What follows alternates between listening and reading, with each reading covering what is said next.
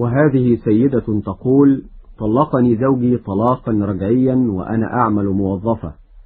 وبعد طلاقي لم يعد لي مصدر دخل يحفظ كرامتي غير وظيفتي. فهل أنقطع في المنزل مدة العدة وفي هذا فصلي من العمل؟ أم ماذا أفعل؟ وهل يسمح للمطلقة طلاقا بائنا أن تخرج للعمل؟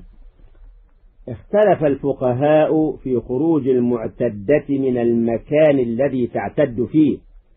فذهب الأحناف إلى أنه لا يجوز للمطلقة الرجعية ولا البائن أن تخرج من بيتها ليلا ولا نهارا.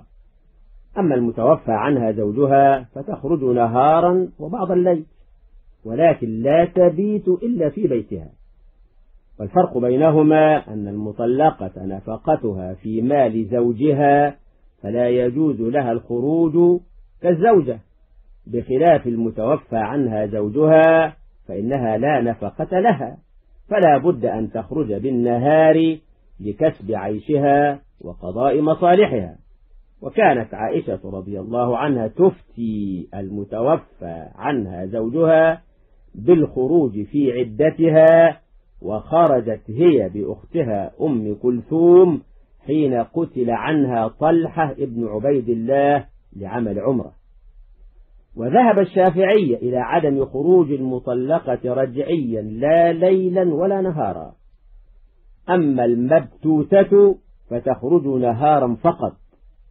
وذهب المالكية إلى جواز خروج المطلقة بالنهار سواء أكان الطلاق رجعيا أم بائنا.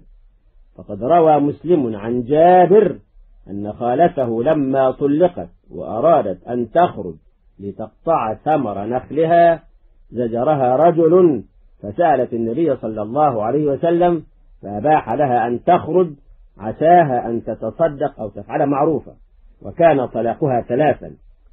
والحنابلة أجازوا خروجها نهارا سواء أكان الطلاق رجعيا أم بائنا. ولك الخيار في أي رأي من الآراء والله أعلم.